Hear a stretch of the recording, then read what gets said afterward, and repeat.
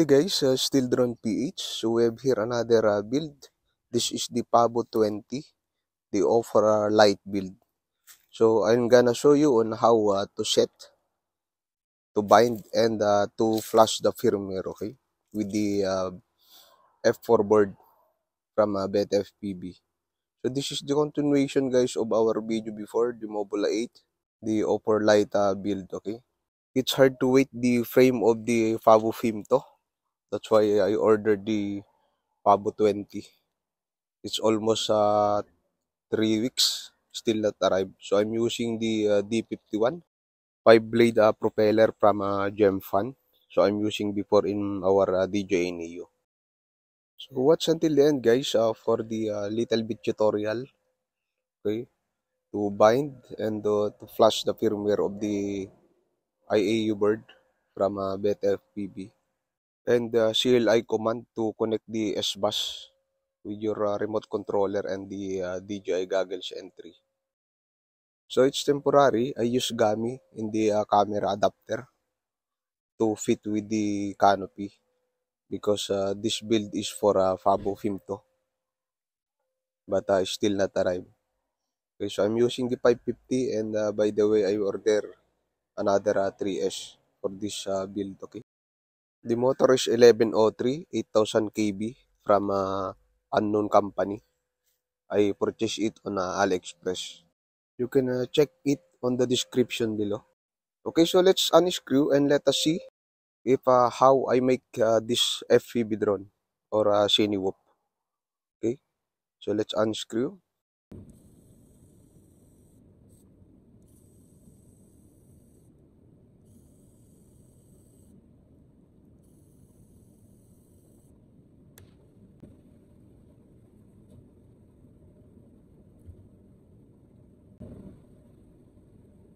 Okay, so the upper is uh, removed.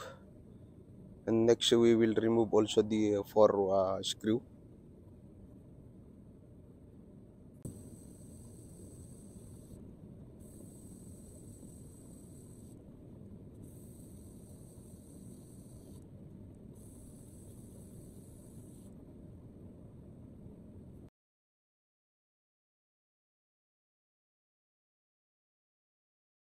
Okay, so it's already removed guys. So I uh, put the capacitor at the bottom. Okay, to stuck inside. And to secure, I just added the heat string so that it's not will be uh, grounded. Okay, so I just shift tie those motors also so that it will not hit by the propeller. I'm trying to fit this uh, Mobile 8 motor before but uh, it's not uh, compatible with the bird. Maybe I will build that uh, with another uh, drone again. Okay, so let's assemble and uh, we will jump to the settings and uh, bind. Then at the end of the video, we will uh, try to test, okay?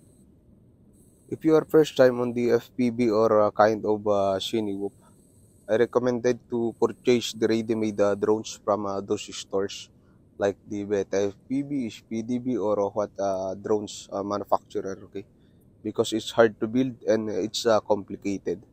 I'm just showing this uh, to help everyone if they struggle to bind their drones on the uh, goggles or uh, activate their uh, offer light. So this is the canopy that I made.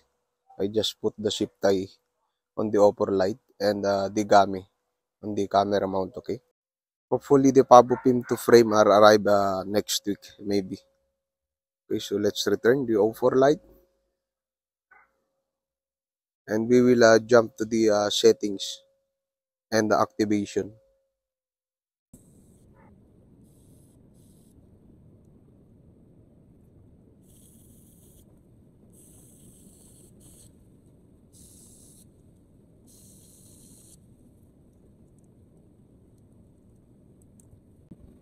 Okay, so it's done and returned.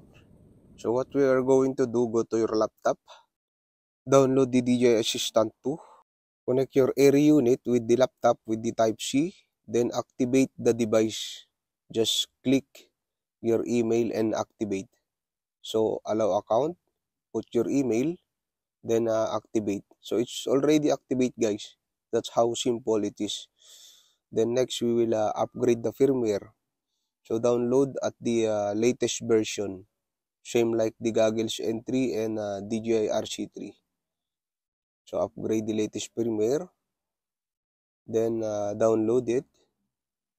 Just a uh, foot fan because uh, the upper light is overheating. Okay, so same like the Goggles N3 also. upgrade all uh, firmware with the latest version.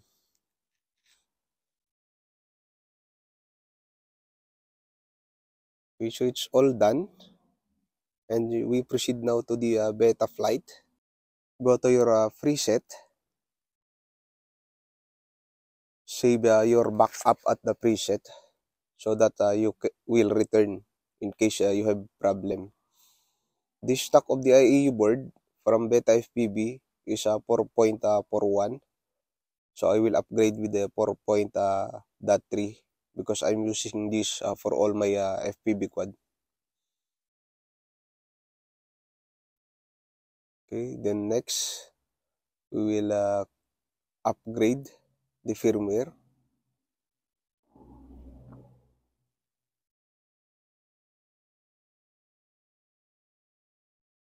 Click auto detect 4.5.1 we will uh, down with uh, 4.3 then uh, you must put the X bus okay at the uh, radio protocol then plus the firmware okay so it's already uh, flash what we are going to do apply the custom that uh, the file you saved before just uh, enter and uh, save. Okay, so if you have a question with uh, the flight settings, I think uh, this is not uh, enough. I will uh, try to make a video, just uh, comment your uh, question guys. If you struggle to bind your DJI RC3 to your uh, Cinewop or uh, DJI Opera Lite, just uh, click this command and uh, save and it will be fine. Okay, so it's all set. So we will uh, bind the offer air unit, the goggles N3 together with our FPV RC3. So pretty simple guys. First, you must set your goggles. You go to your menu. Go to switch from uh, Neo to DJI Offer Lite or uh, Offer Pro. Same uh, procedure with Pro and Lite I think. Then you must go to your control then uh, pick the X bus for your DJI RC controller. If you use another controller like Radio Master Pocket or uh, Jumper T Pro, just uh, click the other one. Okay, so it's all set with the goggles. Now it's time to bind. Just uh, click steady your goggles. Same like the FPV RC3. Just click steady and it will be automatic uh, bind. Okay, so the light is uh, on. Then next we are uh, bind this upper light. Same uh, like procedure, just steady click. Insert the battery. Click the bind button. Okay, near at the green light. So if you are not connected, the light it will be blink green. If you click it to bind, it will be red. Okay ready to bind. Then steady light green, it's uh, connected. Then you can go to set your remote controller uh, button with the arm or uh, switch horizontal or uh, angle mode. You can set at the beta flight. So it's all set and uh, good to go. It's already armed. So let's gonna fly outside guys to test a little with the angle mode. So uh, let's get it on. Okay, so we are here outside to test the Pavo 20 Oppo Lite version. The uh, part 2 in my Mobile 8 uh, video before. Okay, so that's only for the day for our simple tutorial. So till next time. So let's uh, fly. Thank you.